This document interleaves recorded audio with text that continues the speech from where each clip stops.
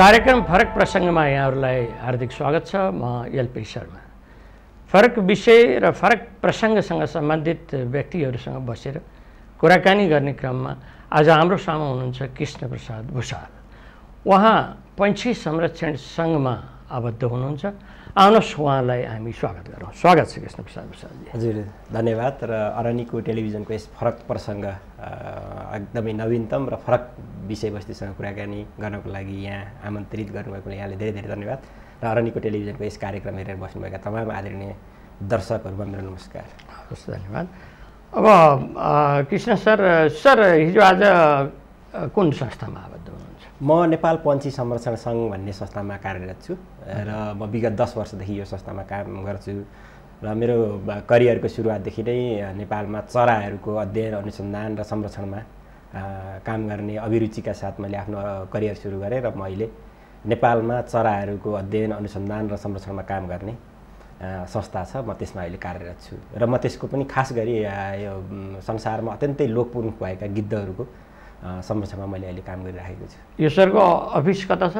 हाम्रो उत्तर ढोका के अरे नारायण हिटी उत्तर ढोका निकै अध्ययन गर्नुहुन्छ पन्छीहरूको बारेमा र यो किसिमले पन्छी विज्ञ पनि हुनुहुन्छ। मैले हेर्छु सरले अध्ययन गरेको त्यसपछि आजको राइटअप्सहरू पनि हेर्छु।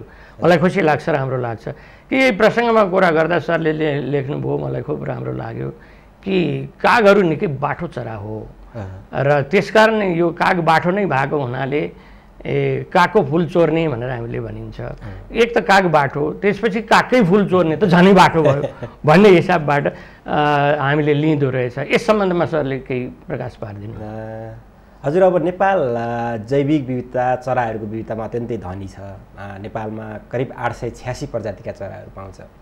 र विश्व भूगोलको सानो हिस्सा जिरो पोइन्ट जिरो एक प्रतिशत ओगर्दा पनि नेपालको ले चाहिँ विश्वमा पाइने चराहरूको करिब करिब चाहिँ नौ प्रतिशत ओगर्छ। यसले गर्दाखेरि हामीहरू चराको मामलामा प्राकृतिक स्रोत सम्पदाहरूको मामला अत्यन्तै धनी छौँ र सरले उल्लेख गरे जस्तो जुन हामीले कागहरू त हामी आमले देखेकै कुरा हो र कागका धेरै प्रसङ्गहरू छन् उसका बुद्धिमत्ताका कुराहरू उसका चतुराइका कुराहरू तैपनि फेरि त्यस्तो चतुर त्यस्तो सबैभन्दा चाहिँ बाठो पन्छीलाई पनि छक्क्याउने चाहिँ कोइली हुँदो रहेछ भन्ने छ र हामीले त यो धेरै कुराहरू चाहिँ हाम्रो कतिपय अध्ययन अनुसन्धानबाट थाहा पायौँ तर हाम्रो हामीभन्दा पहिलोको पुर्खाहरूले उहाँहरूले एउटा लामो अनुभवले देखाइले कागभन्दा कोइली बाठो भनेर हामीलाई सानो छँदाखेरि भन्ने गर्नुहुन्थ्यो। र त्यसलाई टेकेर हामीले अहिले हेर्दै हेर्ने हो भने अथवा चाहिँ त्यसलाई हामीले अलि फराकिलो दायराबाट अध्ययन गर्ने हो भने कोइलीले चाहिँ आफै चाहिँ गुड बनाएर अन्डा नपार्ने तर काग र अथवा अन्य चराहरूको गुडमा चाहिँ अन्डा पारिदिने र त्यो कागले चाहिँ आफ्नो ठानेर त्यसलाई हुर्काउने भन्नाले अब त्यो कोइलीको बच्चा चाहिँ कागले हुर्काइदिने। भनेपछि त्यस्तो बाठो चरालाई पनि छलेर चाहिँ कोइलीले चाहिँ त्यसरी चाहिँ आफ्ना सन्तानहरू उब्राउँदो रहेछ। र त्यो दृष्टिकोणबाट हेर्ने हो भने त कागभन्दा त कोइली बाठो हुँदो रहेछ कि। भन्ने चाहिँ आशय चाहिँ आउन सक्छ। ए काग बाठो छँदैछ? त्यसमाथि पनि कोइली झन् बाठो छ। कोइलीले चाहिँ आफ्नो गुडमा म, अन्डा पार्दैन। सबै कोइलीहरूले होइन जस्तो नेपालमा उन्नाइस प्रजातिका कोइलीहरू पाउँछ। उन्नाइस प्रजातिको कोइलीहरूमध्ये पन्ध्र प्रजातिको कोइलीहरूले आफ्नो गुड चाहिँ बनाउँदैन। उनीहरूले चाहिँ अरू चराहरूको गुणमा जस्तो अब जो यो कुहु कुहु गर्ने कोइली हुन्छ उसले चाहिँ कागको गुणमा चाहिँ अन्डा पारेर कागले चाहिँ उसको बच्चा हुर्काइदिन्छ।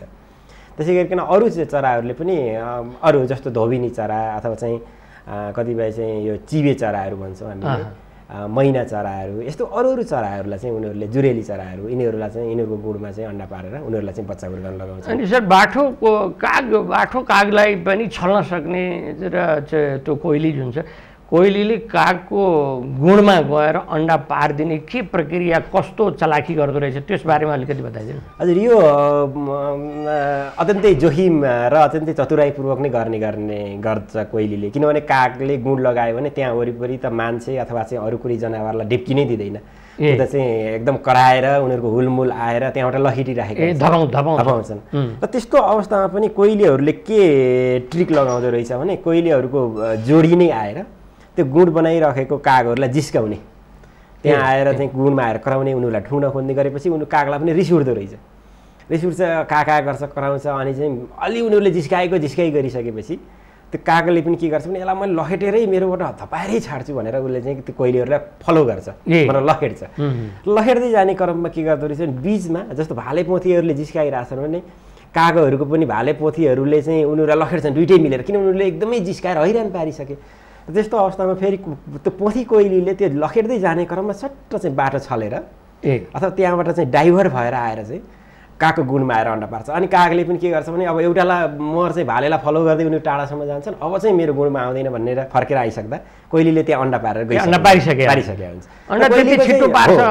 कोइलीले। हजुर यो कोइलीको यो जैविक विशेषता भनेको पनि त्यस्तो रहेछ। उसले चाहिँ छिट्टै त्यहाँ चाहिँ अन्डा पार्न सक्ने क्षमता तर कोइलीले चाहिँ जस्तो जति अन्डा पार्छ अथवा आठ नौ दसवटा जति अन्डा पार्ने हो त्यो चाहिँ एउटै गुणमा चाहिँ पारिदिँदैन। जस्तो एउटा कागको गुणमा एउटा पारिदियो त्यसपछि त्यो सकियो। फेरि त्यस्तै गरिकन अर्को कागलाई हेरेर अर्को कागको गुणमा गएर फेरि त्यसलाई पनि धपाएर पारिदियो। भनेको मतलब एउटा एउटा एउटा एउटा अन्डा पार्दै जाने भयो। त्यसले गर्दा यो अत्यन्तै रोचक र अत्यन्तै भनौँ न एकदम जिज्ञासु खालको रहेछ। त्यही त्यही आधारलाई मानेर पनि मैले अलिकति अध्ययन गरेर मैले एउटा चाहिँ त्यो लेख सिर्जना गरेको थिएँ। र त्यसले गर्दाखेरि त्यो हुर्काइसकेपछि अब कागले त आफ्नो बच्चा ठान्छ। आफ्नो अन्डा छान्छ आफ्नो बच्चा ठान्छ। तर अब बढ्दै जाने बेला त कोइलीको हुन्छ फरक हुन्छ। फेरि ठुलो पनि हुने भयो साइज कागको भन्दा त ठुलो हुँदैन तर अरू साना चराहरूको भन्दा कोइलीको चाहिँ ठुलो पनि हुन्छ। धोबिनीको त उसले आफूभन्दा दोब्बर ठुलो अथवा कतिपय साना फिस्टे चराहरूको त आफूभन्दा तिन गुणा ठुलो चाहिँ बच्चा जन्मिन्छ। र अब तै पनि उनीहरूले के हुन्छ भने अब त्यो एउटा खालको भावनात्मक सम्बन्ध विकसित हुँदो रहेछ। उनीहरूले चाहिँ मातृत्व। हो, मातृत्व। यो चाहिँ अब फरक हो। यो कागको के अरे कोइलीको बच्चा हो भन्ने सम्म त उनीहरूलाई थाहा हुन्छ होला किनभने फरक देखिन्छ फरक बिहेभियर देखाउँछ। तैपनि उनीहरूले चाहिँ नियमित रेखदेख नियमित खुवाउने गएर उनीहरू चाहिँ एक प्रकारले परिपक्व भएर आफै छोडेर नजानेसम्म उनीहरूले रेखदेख गर्छन्। त्यसले गर्दाखेरि यो चाहिँ गजबको सम्बन्ध चाहिँ देखिन्छ। ए कोइलीको विशेषता चाहिँ एउटा अर्काको गुणमा गएर अन्डा पार्ने। अर्को लङ डिस्टेन्समा उनीहरूले आप्रवासी चरा जस्तो। होइन लामो दूरी उनले तय गर्ने। यहाँ यता चिनबाट छोडेका चाहिँ सेटेलाइटको ट्याग एउटा लगाएर छोडेको चरा। यत्रो बिसौँ हजार किलोमिटरको दूरी पार गरेर अफ्रिका गए केही चरा त्यहाँ बसे। फेरि फर्केर पनि आए। यो हो। यो सत्य हो। यो सत्य हो र यो अत्यन्तै अनौठो हुन्छ। हुन त अब चराहरू चाहिँ उड्ने भएको हुनाले उनीहरूले चाहिँ बसाइसराइ गर्छन्। नेपालमा पाइने चराहरू पनि सबै आठ सय छ्यासी प्रजातिको चराहरू वर्षभरि नै यहाँ भेटिँदैन। जस्तो जाडो समयमा चाहिँ उत्तरी ध्रुवमा हिमपात भइसकेपछि थुप्रै चराहरू बसाइसराइ गरेर अनुकूल मौसम। र चरण क्षेत्र खोजीमा नेपाल आउँछन् त्यस्ता एक सय पचास प्रजातिका चराहरू त्यस्तो छ। त्यसै गरिकन गर्मीमा पनि दक्षिणतिरबाट गर्मी छल्नको लागि नेपालमा आउँछन् र कोइलीहरू चाहिँ दक्षिणबाट गर्मी छल्न र नेपालमा आएर चाहिँ गुण के अरे आफ्नो सन्तान हुर्काउन आउने गर्छन्। र यहाँले भने जस्तै कोइलीहरू चाहिँ लामो दूरीको बसाइसराइ गर्दो रहेछ र बेजिङ नजिकै टु थाउजन्ड सिक्सटिनमा सन् टु थाउजन्ड सिक्सटिनमा सेटेलाइट ट्याग गरेर छाडेका चराहरू करिब करिब यहाँले भने जस्तै बिस हजार चाहिँ किलोमिटरको दूरी तय गरेर थुप्रै मरुभूमिहरू थुप्रै महासागरहरू पार गरेर अफ्रिकासम्म पुगेको देखिन्छ। यसले गर्दाखेरि एउटा सानो चरा हामीले झट्ट हेर्दा चाहिँ एउटा ढुकुर जत्रो चराले पनि यत्रो दूरीहरूमा पार गर्दो रहेछ। र त्यो सँगसँगै ती चराहरूले चाहिँ विभिन्न देशहरू विभिन्न महादेशहरू विभिन्न चाहिँ कन्ट्रीका पनि विभिन्न पार्टहरूलाई जोड्दो रहेछ बसाइसकेको गरेर त्यो बाटो हुँदै हुँदै हुँदै हुँदै जाने। फेरि त्यहाँ आफ्नो समय व्यतीत गरिसकेपछि फेरि चाहिँ बसाइ रिटर्न ब्याक हुने। त्यो खालको चाहिँ हुँदो रहेछ र कोइलीहरूले यति लामो दूरी बसाइसराइ गर्छ भन्ने कुराहरू थाहा थिएन तर यो एउटा नयाँ अध्ययनले त्यो देखायो। तर हामीले पनि हाम्रोमा आउने चाहिँ जस्तो पाइट कुक्कु भनेर भन्छौँ होइन? जुरे कोइली त्यो चाहिँ अफ्रिकाबाट करिब करिब चाहिँ छ हजार किलोमिटरको दूरी पार गरेर चाहिँ आउँछ। त्यसले गर्दाखेरि कतिपय हाम्रा चाहिँ धेरैजसो कुकुरहरू चाहिँ यो समयमा बसाइसराइ गरेर आउने। त्यसै गरेर वसन्त ऋतुसँगै हामीले कुहु कुहु काफल पाक्यो बिउ कोयो भन्ने विभिन्न कुकुरको आवाजहरू सुन्छौँ। यिनीहरू पनि बसाइसराइ गर्ने तर त्यति लामो दूरी चाहिँ छैन अथवा चाहिँ हुन पनि सक्छ। यसको मतलब त के रहेछ भने सर कोइलीको पङ्ख त निकै शक्तिशाली हुँदो रहेछ नि त। किनकि महासागर क्रस गरेर जानु पऱ्यो नि त। हो हो। यो एकदम यो त्यसमा काम गर्ने हामी अनुसन्धानकर्ताहरूलाई पनि बडो अचम्म लागेको छ। कि धेरै जसो चराहरूले अ, त्यस महासागर पार गर्ने बेलामा छोटो अ, खोजहरू खोज्ने गर्छ। अथवा चाहिँ भनौँ न एउटा देशबाट अर्को देशको दूरी जानेर कम छ त्यो गर्ने गर्छ। तर त्यो चिनबाट गएको एउटा कुकुरले त त्यो छोटो दूरी नरोजेर अझ लामो दूरी अझै चाहिँ दक्षिणतिरबाट धेरै डिस्टेन्स पार गर्ने गरी गयो त्यहाँ र करिब चाहिँ हजारौँ किलोमिटर भनौँ न हजारौँ किलोमिटर समुद्रको माथि चाहिँ उसले पार गर्यो। त्यो खालको यिनीहरूको त्यो जैविक विशेषता हुँदो रहेछ भनेर चाहिँ हामीहरू आफै पनि अचम्मित भयौँ। तर चाहिँ अब प्रकृतिले सिर्जना भएका प्रकृतिमा सिर्जित भएका जीवहरू आफैमै अचम्मपूर्ण चाहिँ छन्। तर कागले चाहिँ गुड भने आफै आफै बनाउँछ। आफै बनाउँछ। रुखको। अलि माथि टुप्पामा गएर बनाउँछ टुप्पोमा बनाउँछ र विभिन्न झिँगा के अरे झिँझाहरू बटुलेर गराउँछ। र अहिले त अब उनीहरू चाहिँ अब कागले अझ धेरै जसो चाहिँ तारहरू पनि प्रयोग गरे उनीहरू चाहिँ सहरीकरणमा त अब झिँझाहरू पनि पाउनु गाह्रो छ। त्यस्तो ठाउँमा उनीहरूले तारहरू या चाहिँ अरू त्यसो भए त कोइलीलाई त कस्तो हामीले सुन्दाखेरि जति मिठो बोल्छ होइन जस्तो भाषा उसले बोल्छ जति राम्रो बोल्छ। तर व्यवहारमा चाहिँ कोइलीले त्यसको ठिक ऊ जति मिठो बोल्छ त्यसको दुगुना प्रतिकूल व्यवहार उसले गर्छ होइन? त्यसकारण कुटिल हुन्छ भन्ने हिसाबमा चाहिँ निकै स्वार्थी चरा पो मानियो त। त्यस्तो पनि देखिन्छ जस्तो अब आफैले चाहिँ आफ्नो सन्तान भने त कोइली बाहेक अरू सबै चराहरूले आफै गुण बनाएर आफ्नो सन्तान आफै हुर्काउने हो। कोइली मात्रै एउटा यस्तो विशिष्ट प्रकारको चरा रहेछ यो प्रकृतिमा कि उसले चाहिँ आफै गुण पनि बनाउँदैन आफ्नो सन्तान पनि हुर्काउँदैन। उही हुर्किसकेपछि ल आइज अब चाहिँ त त मेरो होस् भनेर चाहिँ लिएर जान्छ। त्यो कसरी गर्दो रहेछ? किनभने हुर्काउँदा एउटा मातृत्व त त छ होइन? अब कागले नै हुर्काउला अर्कोले धोबिनीले हुर्काउला कसले हुर्काउला त्यहाँ ल्याएर छोडिदिया त त्यो बचेर हुर्काउँदै हुर्काउँदै जान्छ। अनि त त मेरो होस् नि भनेर कोइलीले कसरी छिनेर लिएर जान्छ? के छ यसमा त अब कोइलीले एउटा त नजिकबाट वाच चाहिँ गरिरहेको हुन्छ। अर्को फेरि त्यही कागको पनि एउटा उखान छ नि कागको बच्चा कागतिर कोइलीको बच्चा कोइलीतिर। अब यसमा त अलिकति यो वंशाणुगत जेनेटिक जेनेटिक गुण पनि हुने भयो। उसले चाहिँ अब आफ्नो आमा बुवा या आफ्नो चाहिँ के भन्छ पुर्खाहरू चाहिँ चिनेर त्यसैसँग फलो गर्ने भयो कोइलीले। र अब कोइलीको माउले पनि के गरेर हुन्छ भने कागले हुर्काउने बेलासम्म चाहिँ उसलाई नजिकबाट हेरिरहेको हुन्छ होइन? उसले हुर्काइरहेछ कि छैन? जे फलो चाहिँ वाच- वाच। गरिरहेको हुन्छ। एकदमै बे त्यो बेप्रवाह तरिकाले छोड्ने पनि होइन। तर पछि जब ऊ अब मेच्योर भयो वयस्क भइसकेपछि अब त्यो कोइलीहरू त फेरि रिटर्न ब्याक हुन्छ त्यही बेलामा। त्यो फर्केर जाने बेलामा उनीहरूकै आमाहरूकै गुणहरूमा फर्केर पनि जान्छ। कतिपय चाहिँ छुटेको पनि हुनसक्छ। छुटेको चाहिँ बस्छ एउटा सिजनभरि बस्छ अनि फेरि अर्कोचोटि आएको बेलामा फेरि अर्कोचोटिको जुन हुलमुल हुन्छ उसीसँग मिसिएर जान्छ। त्यसले गर्दा यो अलि रमाइलै छ। ए रमाइलो। अनि यो काग र कोइलीको जीवन पद्धति जुन छ नि उनीहरूको त्यसबाट मानव समुदायलाई ले प्राप्त गर्ने फाइदा के हो? अब प्राकृतिक रूपमा हेर्ने हो इकोसिस्टमको रूपमा हेर्ने हो भने त हरेक चिजको आफ्नो महत्त्व छ होइन? कागले चाहिँ फोहोरो खाइतिर कतिपय अवस्थामा त हामीले कागलाई चाहिँ कुचिकारको रूपमा पनि भन्छौँ होइन? त्यसले चाहिँ एउटा महत्त्वपूर्ण भूमिका निर्वाह गरेको हुन्छ अनि कतिपय सूचना प्रवाहका हिसाबले पनि र अब हाम्रा पौराणिक धर्म संस्कृतिमा पनि एउटा सम्बन्ध त छँदैछ। त्यसले चाहिँ उनीहरूको महत्त्व छ। कोइलीहरूको पनि ठिक त्यसै गरी आफ्नो खालको प्राकृतिक इकोसिस्टममा महत्त्व छ। तर यिनीहरूको सम्बन्धले चाहिँ हामीलाई पनि के सिकाउँदो रहेछ भने जस्तो कागले चाहिँ कोइलीको जसरी सन्तान हुर्काइदिन्छ उसले त आफ्नो कति एउटा जिम्मेवारी जिम्मेवारी निर्वाह गर्यो नि त। इभन चाहिँ आफ्नो बच्चा होइन भन्ने थाहा हुँदा हुँदै पनि उसले चाहिँ कोइलीको बच्चालाई चाहिँ आहार बिहार खुवाएर अझ त्योभन्दा पनि अझ त्यो सानो फिस्टे चराहरूको हेर्ने भने आफूभन्दा तिन गुणा ठुलो चाहिँ बच्चा जन्मिन्छ। अनि उनीहरूको सबैभन्दा चाहिँ दौडधुप कहाँ हुन्छ भने त्यो आहारा ल्याएर खुवाउन। किनभने कोइली अब बच्चाहरू चाहिँ चराहरूको अथवा चाहिँ कोइलीहरूको पनि बच्चाहरू चाहिँ खन्चुवा हुन्छन्। उनीहरू धेरै खाइराख्न खोज्छन्। त्यस्तो बेलामा उनीहरूले एकदम दौडधुप गरेर मिहिनेत गरेर ल्याएर खुवाक्को खुवाइ खुवाक्को खुवाइ खुवाक्को खुवाइ गरेर हुर्काइरहेको हुन्छ। यसले के गर्छ भने आफ्नो जिम्मेवारी आफ्नो कर्तव्यप्रति हामीलाई बोध गर्न पनि सिकाउँछ। र कोइलीले पनि अब जुन अब यो अघि पनि सरले प्रसङ्ग उठाउनु भयो स्वार्थीपना छ भन्ने अब यो चाहिँ क्रम विकाससँगै इभोल्युसनसँगै आएको जस्तो देखिन्छ। त्यही भएर अब झट्ट हेर्दा चाहिँ त्यस्तो सुमधुर कोइलीको स्वर भनेर जति चाहिँ हामी परिचित छ त्यसले पनि त्यस्तो चाहिँ ठल्दो रहेछ के ठग्दो रहेछ। भनेपछि स्वर मुखले मात्रै भनेर या स्वरले मात्रै पनि नहुँदो रहेछ भन्ने पनि एउटा चाहिँ बोध गर्न सकिन्छ। अनि कागको छ नि सर हाम्रो गाउँतिर हामीले बुझिराखेको सुनिराखेको कुरा हो काग आएर घरतिर वरपर कुनै रुखको डालामा हाँगामा आएर कराउन थाल्यो भने घरतिरका हाम्रा आमा बुवाहरूले भन्नुहुन्थ्यो कर जा जा बाई जा नकरा नकरा भन्नुहुन्थ्यो नि। उसले आएर कराउनु अब त्यो एउटा सङ्केतै बोकेर आउँछ कि के हो कागले? काग चाहिँ अब प्रारम्भिक कालदेखि नै सूचनाको सम्भागको रूपमा त हामीले हेर्छौँ हामीले त्यसरी नै बुझ्दै आएका छौँ। र अर्को चाहिँ उसले चाहिँ निश्चित रूपमा सरले भने जस्तो केही न केही सङ्केत चाहिँ बोक्छ। जस्तो कागहरूको हुलमुलहरू कराए जस्तो मानिलियो हाम्रो बस्ती छ। बस्ती नजिकै चितुवा आयो भने मैनाहरू चाहिँ अथवा चाहिँ जुरेली चरीहरू सँगसँगै कागहरू पनि कराइराखेको हुन्छन्। त्यो त्यो छँदैछ अर्को चाहिँ जस्तो हामीले यो जुन गिद्धसँगको सम्बन्ध हेऱ्यौँ भने पनि जस्तो सिनुहरू कतै परिहाल्यो अथवा चाहिँ कुनै गाईबस्तुहरू मऱ्यो भने पनि त्यो पहिला चाहिँ सूचना प्रवाह चाहिँ कागले गर्छ। का का का, ए का गरेर पहिला चाहिँ कागले सूचना दिन्छ। हो कागहरू एकदम कराउने रमाउने गर्छन्। त्यसै त्यो भइसकेपछि गिद्धहरू चाहिँ आउने गर्छन्। र त्यही भएर पनि हामीले कतिपय अवस्थामा चाहिँ गिद्ध र काग कहीँ मामा भान्जा हुने यिनीहरूको सम्बन्ध छ भन्ने भन्ने गर्थ्यौँ बाल्यकालमा। त्यसले गर्दा यसको चाहिँ सूचना प्रवाहको चाहिँ रोल छ।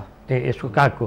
अँ, केही यत्तिकै काग आउँदैन काग आएर बस्यो करायो भने त्यहाँ केही केही केही न केही हुन्छ। केही न केही छ जस्तो अब सर्पहरू आएको पो हो कि हो कि, अथवा के हो चाहिँ कि। कुनै कतिपय ठाउँमा त कुनै चाहिँ अपरिचित मान्छेहरू आयो भने पनि उनीहरू ए, उनीहरू गाउँ टोलमा उनीहरूको गुण छ बासितान छ अँ, अँ। तपाईँको हाम्रो घरमा चाहिँ अपरिचित मान्छेहरू चाहिँ आइदियो उसले कहिल्यै नदेखेको मान्छेहरू आइदियो भने पनि ऊ चाहिँ कराउँछ। र कागको चाहिँ एउटा स्मरण शक्ति पनि राम्रो जस्तो हामी सानो छँदाखेरि कस्तोसम्म भनिन्थ्यो भने गएर कागको त अब बच्चा छँदा त बच्चाहरूले कागको गुँडहरू भत्काइदिने अन्डाहरू निकालिदिने गर्छन्। त्यस्तो मान्छेकोलाई उसले लामो समयसम्म चिन्छ। त्यसले गर्दा त्यो बाटो हिँड्दाखेरि पनि त्यो मान्छेलाई ठुक्छ कराउँछ भनेर भन्ने गरिन्थ्यो त्यसै गरिकन एउटा ताइवानमा भएको स्टडीले त के देखाउँछ भने कागले चाहिँ त्यो ओखरलाई चाहिँ जेब्रा क्रसिङमा ल्याएर फुटाउँछ। जेब्रा ल्याएर जेब्रा जब रातो लाइट बोल्छ के अरे लाइट बोलिसकेपछि गाडीहरू रोकिए। रोकिएपछि जेब्रा क्रसिङमा उसले फुटाल्छ अनि त्यो त्यहाँनिर खान्छ। यहाँनिर चाहिँ गाडीहरू रोक्छ र यहाँनिर चाहिँ यो बत्ती बोलिसकेपछि गाडीहरू जान्न भन्नेसम्मको चाहिँ त्योसम्म नलेज उसलाई छ। त्योसम्म नलेज छ। अहिलेको व्यवहारिक रूपमा हेर्दा। अथवा पौराणिक रूपमा हेर्दा त पानीका घैलाहरूमा ढुङ्गा राखेर खाने त्योहरू पनि छ। अहिलेको रिसेन्ट हेर्ने भने त्योसम्मको नलेज चाहिँ उसलाई छ। मतलब उसले चाहिँ त्यो खालको बौद्धिकता चतुराई चाहिँ उसमा छ। अब सरसँग अब सरको आफ्नै विषयमा एकछिन हामी कुरा गरौँ बल्चरको बारेमा गिद्धको बारेमा होइन?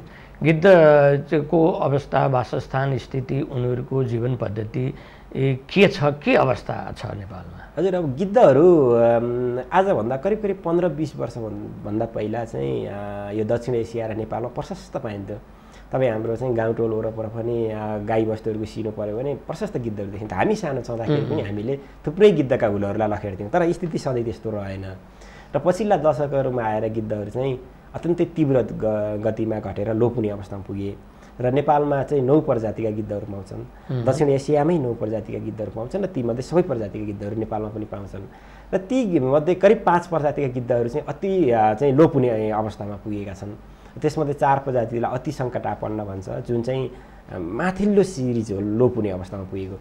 र यसको चाहिँ प्रमुख कारण भनेको चाहिँ यो गाईबस्तुहरूको उपचार खास गरी चाहिँ यो बौद्धलपछि भनौँ न पछिको सिजनमा चाहिँ अलिकति पशु उपचारमा प्रयोग गर्ने प्रविधिको पनि विकास भयो। थुप्रै मान्छेहरू चाहिँ पाहाडबाट तराईहरूमा पनि बसाइसराई गरियो। त्यसै गरिकन त्यो डेभलपमेन्ट सँगसँगै जुन विकसित भएको एउटा औषधि छ डाइक्लोफेनेक भन्ने। त्यसले चाहिँ उपचार गरेका गाईबस्तुहरू मरे र त्यसको सिनो खायो भने गिद्धहरू चाहिँ मर्दो रहेछ। र गिद्धहरू चाहिँ समूहमा खाने हुनाले एउटै सिनोमा पनि डाइक्लोफेनेकले प्रयोग प्रयोग भइराखेको रहेछ भने तिन सय पचासदेखि आठ सय गिद्धहरू चाहिँ मर्दो रहेछ। त्यसले गर्दाखेरि यति ठुलो हताहती भएर गिद्धहरू चाहिँ लोप हुने अवस्थामा पुगे। त्यो भइसकेपछि अब नेपाल सरकारले र हामी जस्तो चाहिँ काम गर्ने सम संरक्षण सङ्घ संस्थाहरूले चाहिँ गिद्धहरू जोगाउनुपर्छ। यो त प्रकृतिको कुचिकार। हो यसले त विभिन्न हैजा प्लेग जस्ता सरुवा रोगहरू फैलनबाट रोक्छ वातावरणलाई स्वच्छ र सफा राख्छ। भन्ने खालको चाहिँ अनुभूत गरिसकेपछि संरक्षणका कामहरू चाहिँ सुरुवात भएका छन्। र खास गरी दुई हजार त्रिसठी सालमा चाहिँ नेपाल सरकारले डाइक्लोफेनेक भन्ने औषधिलाई प्रतिबन्ध लगायो। त्यसपछि चाहिँ जटायु रेस्टुरेन्ट। जुन चाहिँ गिद्धका लागि शुद्ध आहार उपलब्ध गराउने हिसाबले चाहिँ खोलेका जटायु रेस्टुरेन्टहरू छन्। जटायु रेस्टुरेन्ट कहाँ छ? नवलपरासी? नवलपरासी हजुर? हजुर। कावासोतीको जटायु रेस्टुरेन्ट चाहिँ समुदाय स्तरबाट स्थापना गरेको पहिलो रेस्टुरेन्ट हो। दुई हजार त्रिसठीमा। त्यसपछि यस्ता प्रकारका रेस्टुरेन्टहरू नेपालको सात ठाउँमा छन्। ए। पछि गएर रूपन्देहीको चाहिँ गैडा ताल। दाङको लालमटिया र बिजौरी। त्यसै गरिकन कैलालीको खुटिया कास्कीको घाचोक र पूर्व सुनसरीको रामधुनीमा पनि स्थापना गरेका छन्। यी रेस्टुरेन्टहरूमा हरूलाई चाहिँ समुदायले नै व्यवस्थित गर्नुभएको छ समुदाय नै अग्रसर भएर संरक्षणमा लाग्नु भएको छ। यसमा सरकारी सहयोग पनि छ? यसमा चाहिँ सरकारले जुन गिद्ध संरक्षण कार्ययोजना बनाएको छ होइन त्यसले चाहिँ एउटा नीतिगत रूपमा सहयोग गरेको छ। त्यसै गरिकन अब सामुदायिक वनहरूले नै भएको हुनाले वन विभाग अथवा चाहिँ वन मातहतका निकायहरूले पनि सहयोग गर्नुभएको छ। र यो सबैहरूको एउटा चाहिँ सामूहिक सक्रियता र सामूहिक सहयोग छ। यसले गर्दाखेरि गिद्धहरू चाहिँ यो प्रकृतिमा भएको पनि अघि पनि हामीले कुरा गऱ्यौँ नि जस्तो एउटा चिजको आफ्नो एउटा प्रकारको रोल हुन्छ।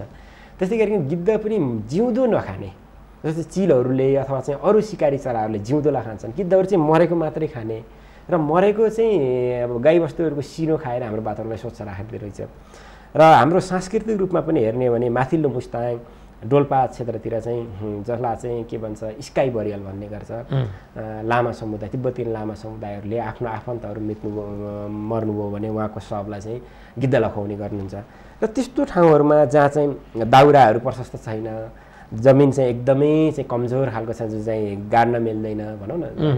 अनि जलाउन मिल्दैन नदीमा बगाउन मिल्दैन त्यस्तो ठाउँहरूमा जुन सेमी एरिड ल्यान्डहरू हो त्यस्तो ठाउँहरूमा हाम्रो संस्कार संस्कृतिलाई चाहिँ उसले कसरी चाहिँ सहयोग गरिरहेको छ भन्ने चाहिँ महत्त्वपूर्ण भूमि भूमिका छ। यो हिसाबले चाहिँ गिद्ध संरक्षणमा थुप्रै स्थानीय समुदायहरू सरकारी निकायहरू सञ्चार माध्यमहरू सबैको चाहिँ सहयोग छ। र यसले गर्दाखेरि अब हामीहरू चाहिँ पछिल्लो दिनहरूमा जुन दरमा घटिरहेको थियो गिद्धहरू त्यसबाट चाहिँ अलिकति त्यसलाई रोक्न सकिन्छ कि भन्ने अवस्थामा चाहिँ छौँ। रोकिएको अवस्था छ। हजुर अहिले चाहिँ अब त्यो घट्ने दर चाहिँ रोकिएको छ। दर चाहिँ रोकिएको। तर पहिला हाम्रो चाहिँ भन्ने गर्छौँ नि हामीले चाहिँ उन्नाइस सय अस्सीको दशकमा नेपालमा चाहिँ दस लाखदेखि सोह्र लाख गिद्धहरू थिए भनेर जुन अनुमान गरेको छ। त्यो सङ्ख्या त अहिले घटेर करिब करिब बिस हजारमा झरेको छ। सीमित छ। हो यसले करिब नब्बे प्रतिशतभन्दा बढी चाहिँ घटेर यस यो अवस्थामा आइसकेपछि यो सानो सङ्ख्यामा त रगो गिद्धहरूलाई जोगाउने चाहिँ आफैमा चुनौतीपूर्ण पनि छ। त्यसले गर्दा यसलाई चाहिँ निरन्तर कामहरू गर्नुपर्ने यसमा निरन्तर लाग्नुपर्ने र सबै चाहिँ बहुसरोकारको विषय भएको हुनाले सबैको चाहिँ हातेमालो चाहिँ जरुरी चाहिँ छ। यसको लागि उपचार गिद्धको उपचार पनि गर्न सकिन्छ उसलाई समातेर इन्जेक्ट गर्ने इन्जेक्सन लगाउने काखमा लिने यस्तो पनि हुन्छ? यस्तो चाहिँ अब हामीले चाहिँ कतै कतै प्रकृतिमा घाइते भएका चाहिँ अथवा चाहिँ बिरामी भएको गिद्धहरू छन् भने हामीले त्यसरी पनि गर्ने गरेका छौँ।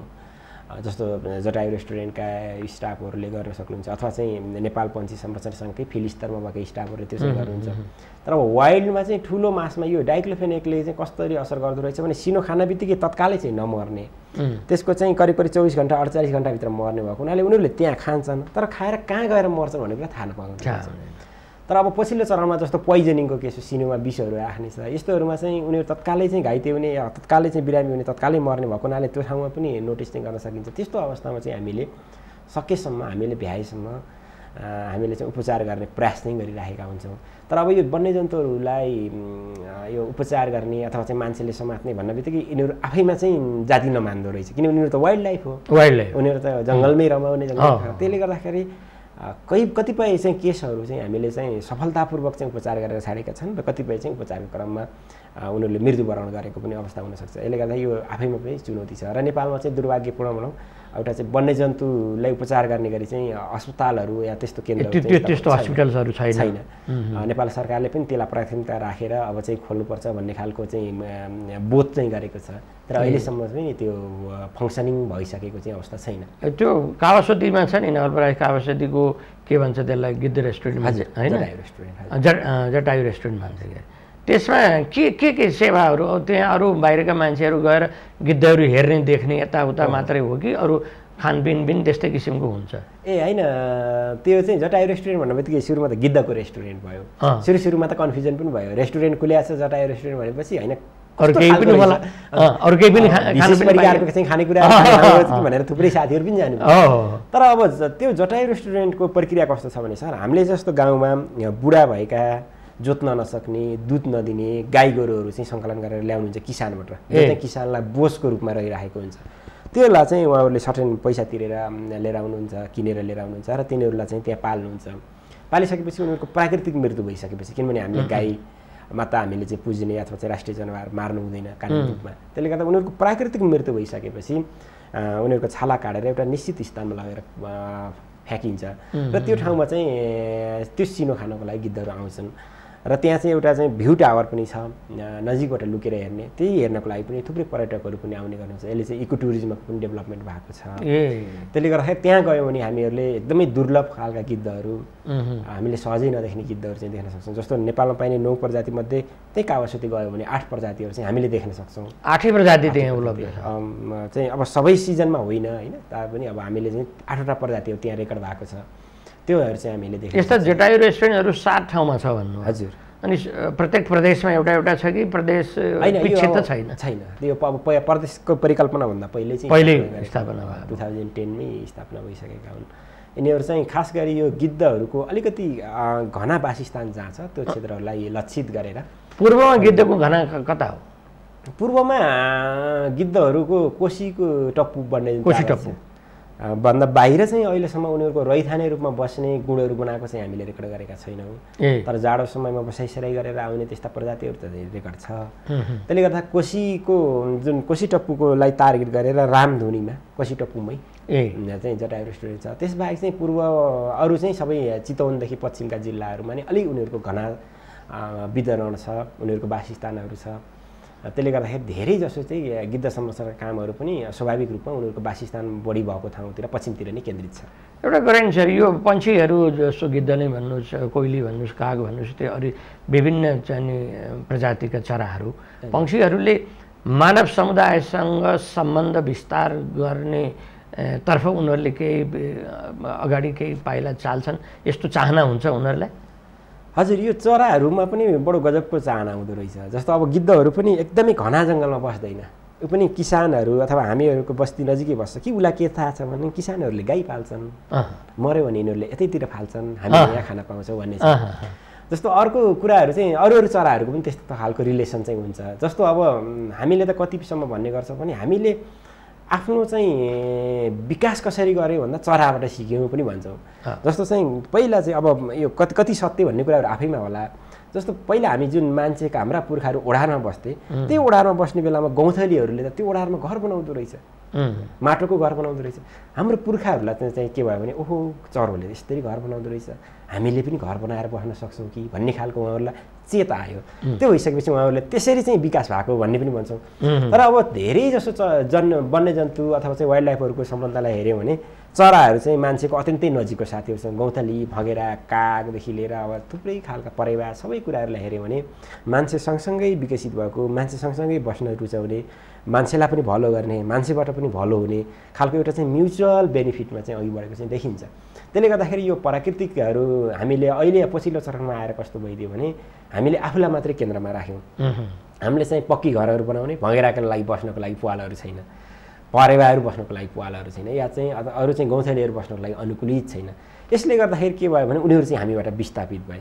हाम्रै स सहयात्री पन्छीहरू सह सँगसँगै चाहिँ विकसित भएर आइसकेका एउटा विकास क्रममा आइसकेका चाहिँ सहयात्रीहरूलाई हामीले थपायौँ यसमा चाहिँ हामीहरू अत्यन्तै स्वार्थी देखिँदो रहेछौँ। चराहरू या अरू वन्यजन्तुहरू अरू प्राकृतिक स्रोतहरूले निस्वार्थ रूपमा हामीलाई सेवा दिइरहेका छन्। तर हामीहरू चाहिँ के छ भने हामी ध्वंस गर्नमै केन्द्रित छौँ। यसले गर्दाखेरि पनि हामीहरूको अथवा चाहिँ मेरो पर्सनल पनि आह्वान के हो भने चरा प्राकृतिक स्रोत सम्पदाहरू हामीहरूका शत्रु होइनन्। हामीहरूका त उनीहरू चाहिँ हामीलाई नि शुल्क चाहिँ सेवा पुऱ्याइरहेका त्यस्ता खालका जीवजन्तु या सम्पदाहरू। त्यसले गर्दा तिनीहरू जोगाउनुप्रति हामीहरू चाहिँ मोर चाहिँ केन्द्रित हुनुपर्छ अथवा चाहिँ हामीले त्यो खालको आत्मबोध चाहिँ गर्नुपर्ने हुन्छ। हामीले चाहिँ अब अहिले हेर्नुभयो भने सरले पनि सबै सिमेन्टीको घरहरू चाहिँ आरसिसी घरहरू बनाएका छौँ।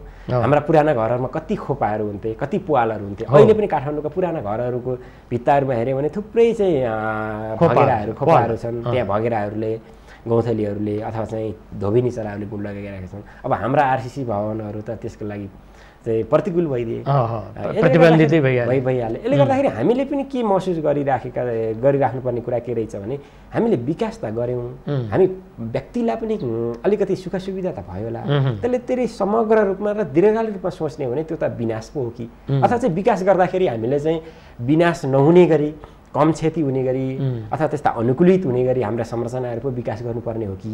भन्ने खालको चाहिँ हामीले बेलैमा विचार पुऱ्याउने पर्छ। आफ्नो मात्रै होइन हाम्रो सम्पूर्ण समुदाय चराचर जगतको पनि हित उन्नति एकदम तर्फ हामीले सोच्यौँ भने धेरै राम्रो हुन्थ्यो। होइन भने त अब उनीहरू चराहरू जस्तो लोप भएर गए नि त जस्तो नेपालमा पाए नेपालमा आठ प्रजातिका चराहरू लोप भएर गए नि त। अहिलेसम्म अथवा हामीले लोप गरायो भने भोलि बिहान हाम्रो पनि पालो त्यही हो। हामी पनि लोप भएर जाने हो। होइन त्यसले गर्दाखेरि अब हामीले आफ्नो जिम्मेवारी बोध चाहिँ वहन गर्नुपर्ने चाहिँ देखिन्छ। कृष्ण सर बहुत आज व्यस्त समयलाई निकालेर सर यहाँ आइदिनु भयो र हाम्रो टेलिभिजनका दर्शकहरूलाई केही यो पक्षीको जीवन पद्धति र जीवन दर्शनबारे केही बुझाइदिनु भयो बडो राम्रो भयो।